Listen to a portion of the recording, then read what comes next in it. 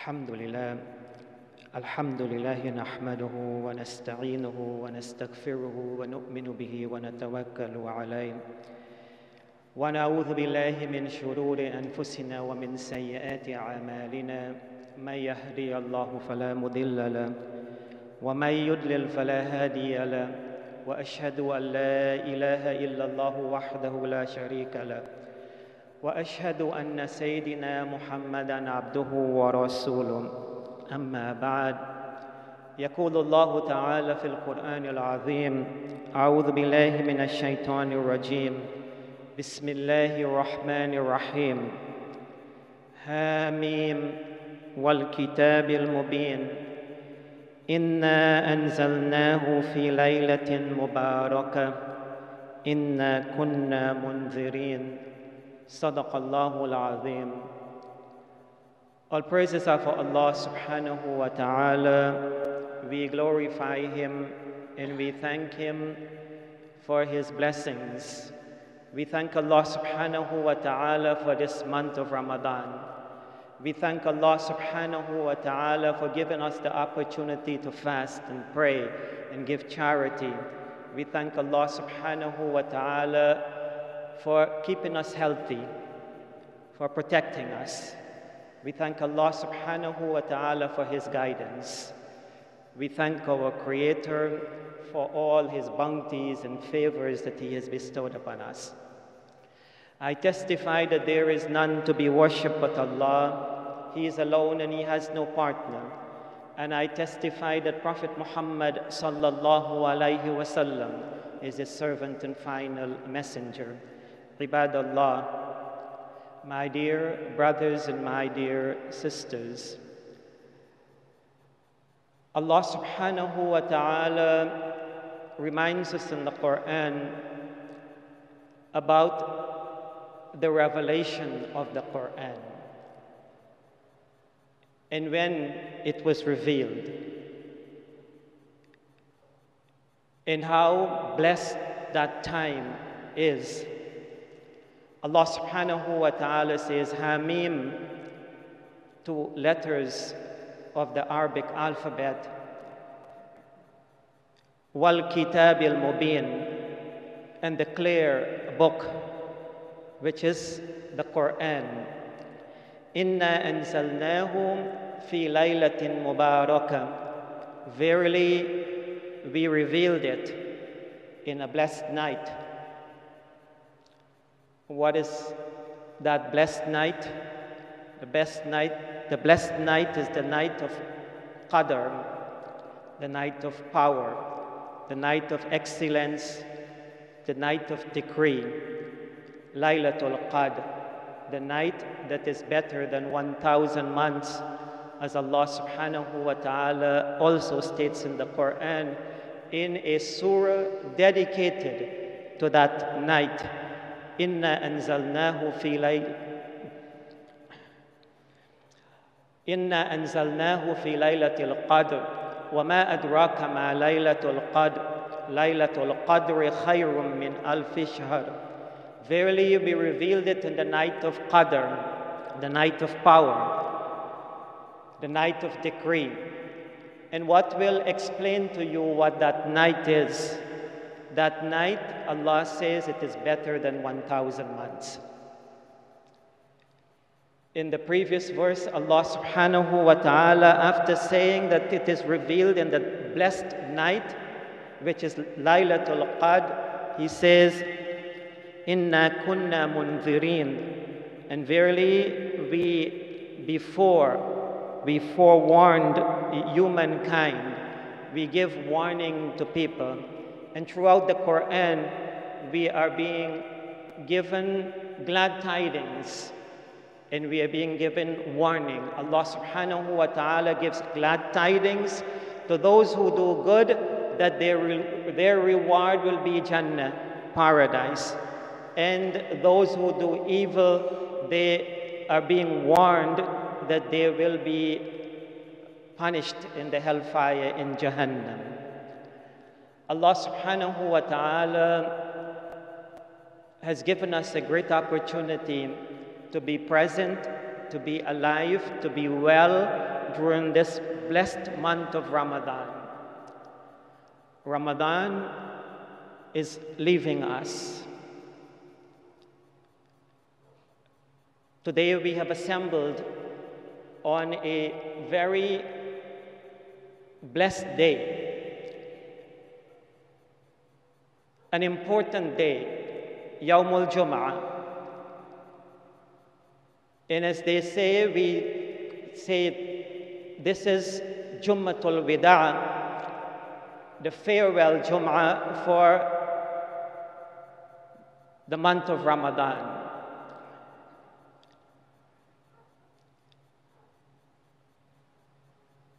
We don't know who will experience Ramadan again next year. We don't know who will be in a state of good health during Ramadan next year. This is all the work of Allah subhanahu wa ta'ala. Allah subhanahu wa ta'ala, He says in the Quran, كل من عليها فان ويبقى وجه ربك ذو الجلال والإكرام Everyone on this earth will perish. Everyone on this earth will die. ويبقى وجه ربك ذو الجلال والإكرام What will remain? The face of your Lord, the one full of majesty, glory, Allah subhanahu wa ta'ala. So for each and every one of us, our turn will come. But in the meantime that we have life, we need to make good use of it. And so we still have a few days remaining in this blessed month of Ramadan. We pray that Allah subhanahu wa ta'ala grant us the opportunity to see its end. These are blessed days and blessed nights. The most blessed nights of the year are the nights, the last 10 nights of Ramadan. And we are within the last 10 nights of Ramadan. Prophet Muhammad sallallahu alayhi wasallam, it is said of him that when these last 10 nights came, he used to tighten his waist belt, meaning that he worked harder and he would pray more at night. And he was also concerned about his family, so he would wake up his family to also pray. This is the beauty of Islam. That just as how we are uni- united in this world, that we want to be united when we leave this world. And so we all have to have the same goal. Husbands, wives, children have to have the same goals. That you are striving to please Allah subhanahu wa ta'ala, that you are striving to stay connected with your Creator, Allah subhanahu wa ta'ala. So that you all will be, all of us will be successful together. And success, my dear brothers and my dear sisters, it's not the beautiful homes and the beautiful cars and the great job or the six figure that we make in terms of our salaries. Allah subhanahu wa ta'ala says in the Quran, فَمَنْ زُحْزِهَ عَنِ النَّارِ وَأُدْخِلَ الْجَنَّةِ فَقَدْ فَازَ The one who is saved from the fire of hell and is admitted into the paradise of Allah subhanahu wa ta'ala, that is the one who has been successful. And so, let's do like Prophet Muhammad sallallahu alaihi wasallam. Spend these remaining days and nights closely attached to Allah subhanahu wa ta'ala. We still have some odd nights in these last nights. And Prophet Muhammad sallallahu alaihi wasallam, when he speaks about Laylatul Qadr, the night of power, the night of grandeur, the night of excellence, the night of decree, the Prophet sallallahu alaihi wasallam reminded his companions to search for it in the last 10 nights, in the odd nights, the 21st which is gone, the 23rd which is also gone, the 25th which has also gone. We still have the 27th and we have the 29th night. We need to continue that rigor. We need to continue that focus and make sure that we are striving in the path of Allah subhanahu wa ta'ala more like Prophet Muhammad sallallahu alayhi wasallam and his family. The Prophet sallallahu alaihi wasallam at the very beginning of Ramadan he said to his companions the month has come to you and in it there is a night that is better than a thousand months. Whoever is deprived of it is deprived of all goodness and no one is deprived of its goodness except one who is truly deprived. Let us not be in that category of people who are truly deprived of the goodness of the night of Qadr, the night of power. My dear brothers and my dear sisters, I want to remind you of a few things that we can do as we tighten our waist belt and we work harder in these last days and nights of Ramadan. Remember, the Quran was revealed in this month and it was revealed in this blessed night.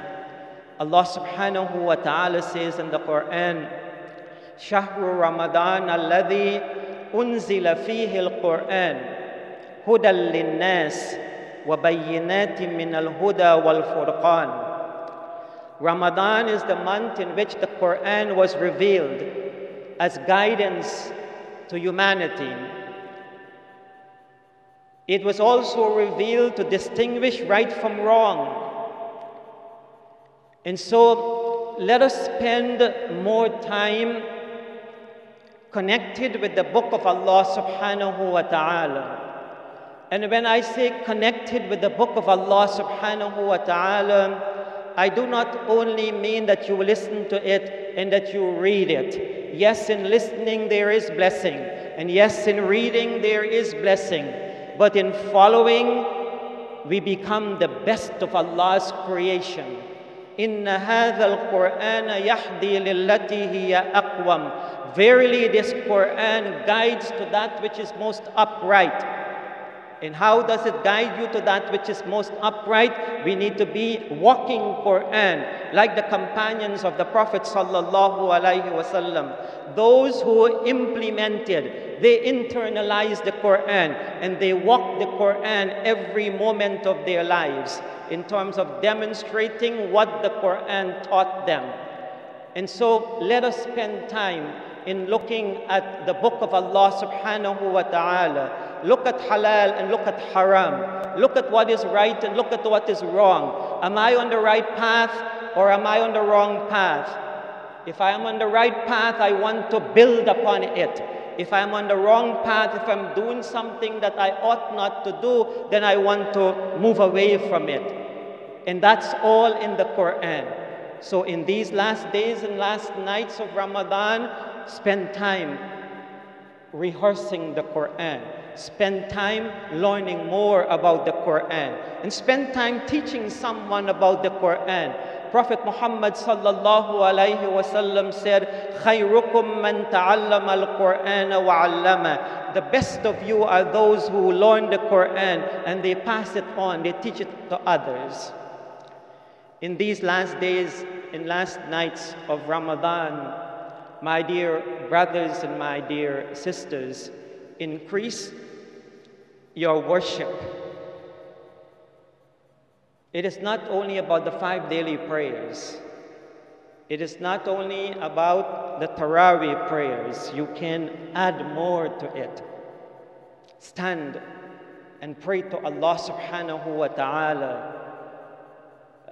Do like Prophet Muhammad sallallahu alayhi wasallam.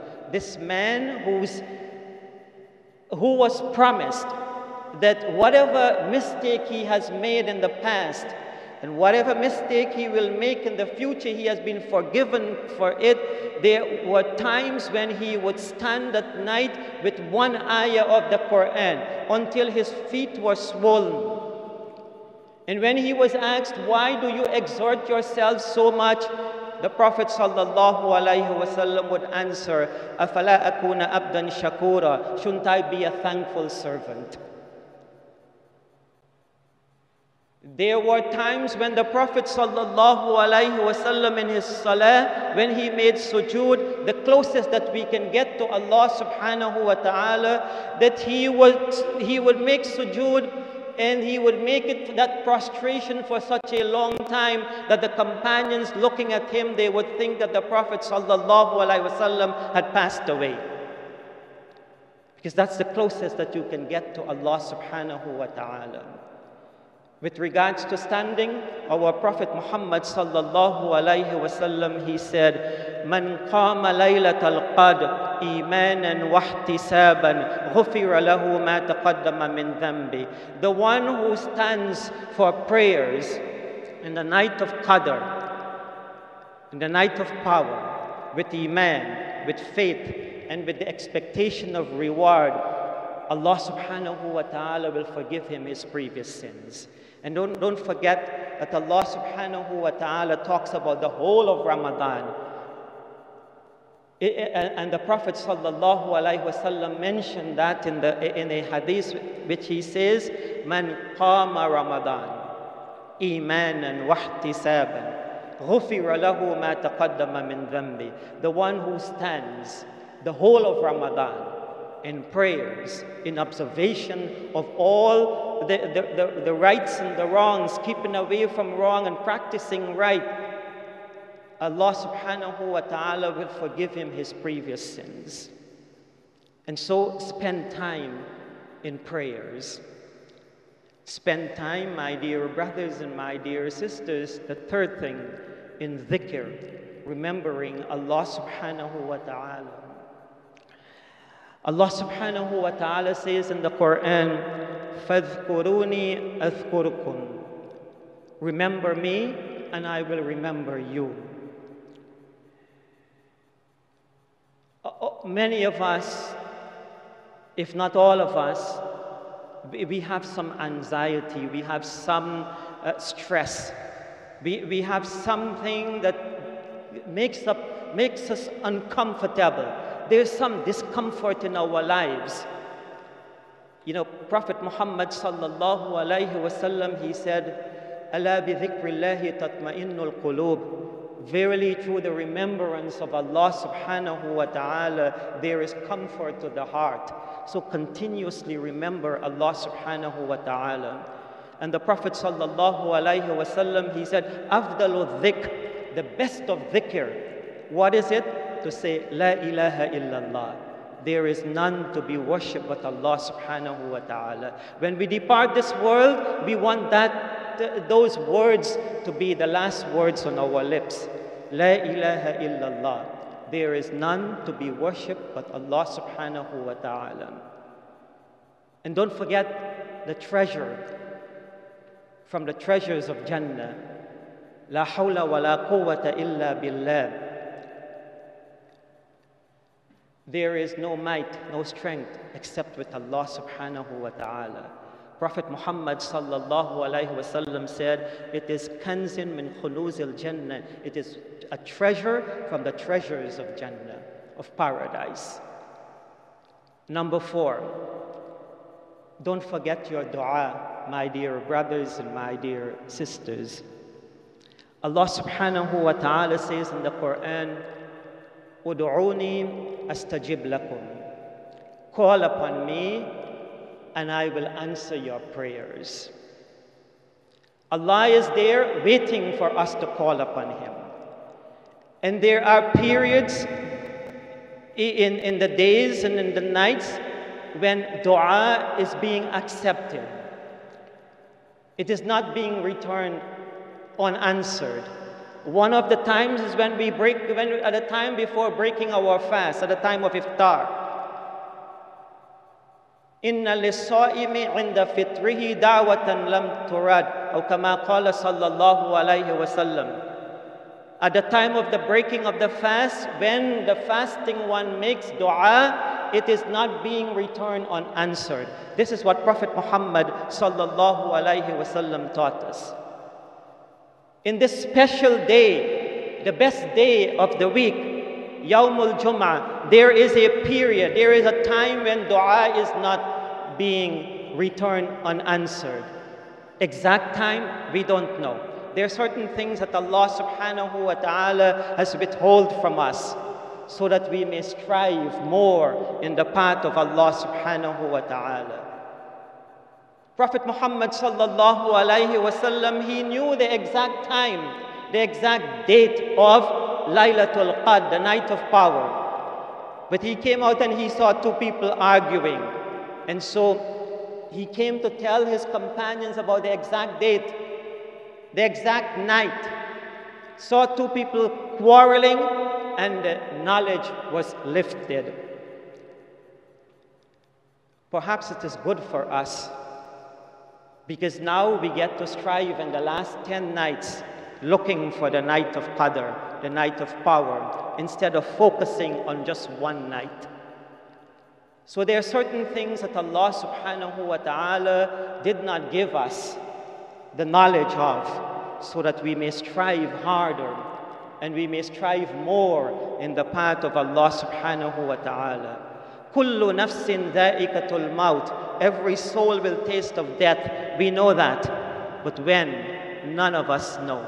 وما تدري نفس ماذا تكسب غدا وما تدري نفس بأي أرض تموت No soul knows what will happen the next moment and no soul knows in which land it will die. That knowledge is with Allah subhanahu wa ta'ala. And so since we know that we will die, we will strive more and more to be in the path of Allah subhanahu wa ta'ala.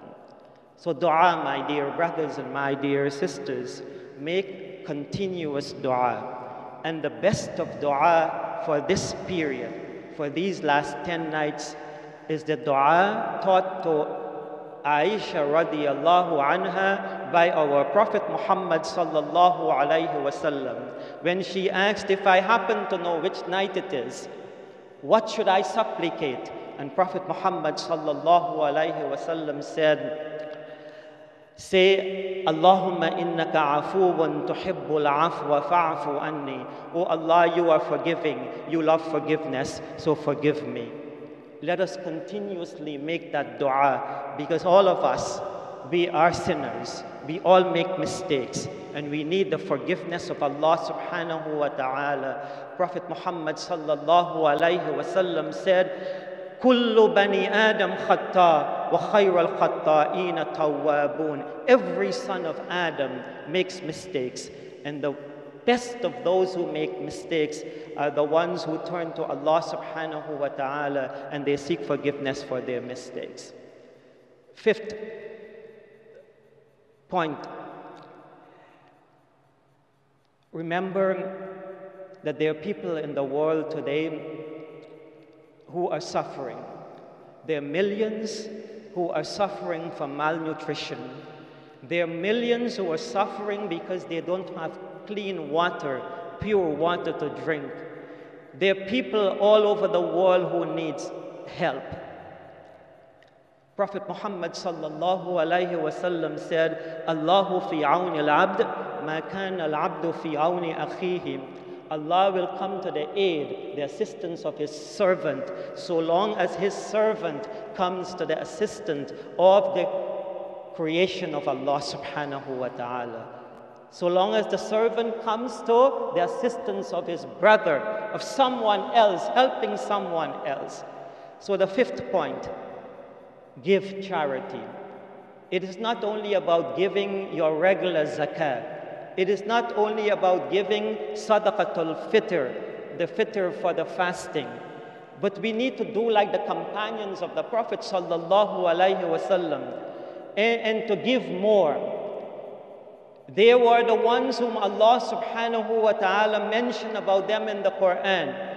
وَيُؤْثِرُونَ عَلَىٰ أَنفُسِهِمْ وَلَوْ كَانُوا بِهِمْ خَصَاصًا they were the ones, Allah subhanahu wa ta'ala says, and they give preference to others with regards to what Allah gave to them, even though poverty was their own lot.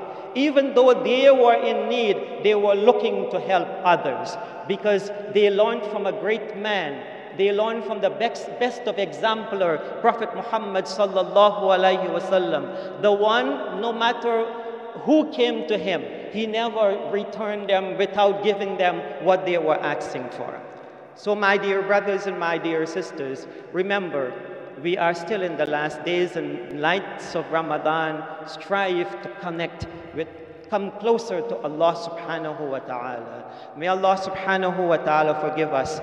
May He have mercy on us. May Allah subhanahu wa ta'ala give us good in this life and good in the life hereafter. And may He save us from the torment of hellfire. أقول قولي هذا واستغفر الله لي ولكم ولسائر المؤمنين والمؤمنات من كل ذنب فاستغفروه إنه هو الغفور الرحيم.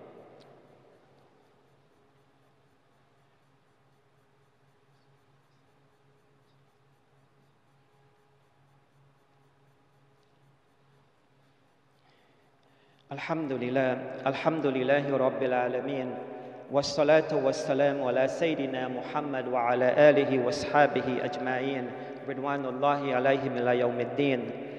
أما بعد لقد أمرنا الله سبحانه وتعالى في القرآن العظيم حيث قال إن الله وملائكته يصلون على النبي يا أيها الذين آمنوا صلوا عليه وسلموا تسليما. اللهم صل وسلم على عبدك ورسولك محمد وأرضى. اللهم من خلفائه الأربعة أبي بكر وعمر وعثمان وعلي وعن ستة الباقين المبشرين بالجنة وعن سائر الصحابة وعن التابعين ومن تبعهم بإحسان إلى يوم الدين. اللهم أعز الإسلام والمسلمين. اللهم نور قلوبنا بنور الإيمان وثبت قلوبنا على دين الإسلام. ولا تجعل في قلوبنا غلا للذين آمنوا. ربنا إنك رؤوف رحيم. اللهم لا تدع لنا في مقامنا هذا ذنبا إلا غفرته ولا هما إلا فرجته ولا حاجة من حوائج الدنيا والآخرة إلا قضيتها ولا مريضا إلا شفيته ولا ميتا إلا رحمته ولا دينا إلا قضيته. اللهم تقبل منا إنك أنت السميع العليم وتب علينا يا مولانا إنك أنت التواب الرحيم. عباد الله إن الله يأمر بالعدل والإحسان وإيتاء ذي القربى وينهى عن الفحشاء والمنكر والبغي يعظكم لعلكم تذكرون. فاشكروا الله على نعمه واذكروه على آلائه ولذكر الله أكبر والله يعلم ما تصنعون. قم الصلاة.